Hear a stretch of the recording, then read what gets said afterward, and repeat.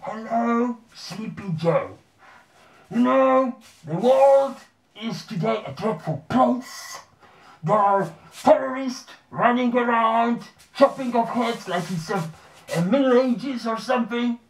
And uh, the, the Russians, the, there is a second year of the uh, dreadful invasion of Russia against Ukraine.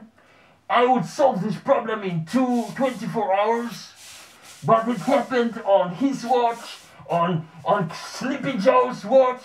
That would never happen on my watch. It could only happen on his watch because he's a, a Sleepy Joe from the swamp, from the DC swamp, and I can, you know, you know me. I am a businessman, an entrepreneur, and it will never happen on my watch. It could only happen on his watch. You know, it could only happen on his watch, and he's to blame. On your watch, you will attack Ukraine with Putin, are both crazy dictators. It is not true. It's not true. It's it's the it's the swamp talking. It's not true.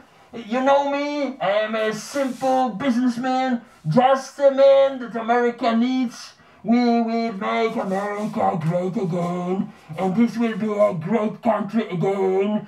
And I can deal with anybody, literally anybody. I can deal with Mr. Xi Jinping of China. I can deal with Mr. Kim Jong Un of North Korea. I can deal with Putin. Putin is basically a good guy, and we can understand each other very well. I can ge- make a deal with anybody.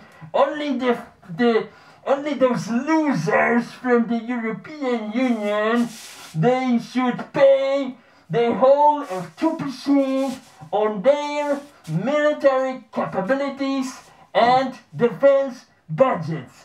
If they don't pay those losers and European fuckers, they will not be protected by our taxpayers' money because they are stealing from us. And America should be always first. How dare you insult allies and partners from Europe? I am not insulting anybody. This is what just this is just what this nasty, crazy woman that was trying to get the Republican nomination, uh, uh, Nancy Pelosi, uh, she, this nasty, crazy woman, she was insulting me of being against Europe, which is not true. This is not true. This crazy, nasty woman. You mean Nikki Haley? What? You mean Nikki Haley? Nikki Haley, yes, yes. Basically, all women are a little bit nasty and a little bit crazy, especially Rosie O'Donnell. Well, I can say America needs lawyer or general, never ever crazy businessman like this guy. Drain the swamp! Drain the swamp! Where is my corn pop? I need my corn pop. Uh,